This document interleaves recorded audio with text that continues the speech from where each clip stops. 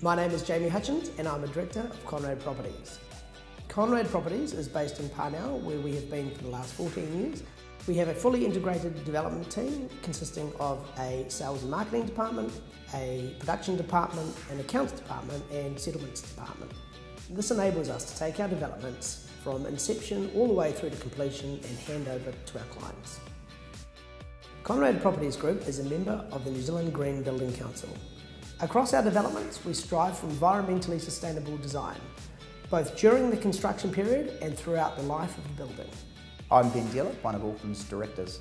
Over the past 12 years, Conrad Properties have focused on apartment development, predominantly in Auckland's CBD.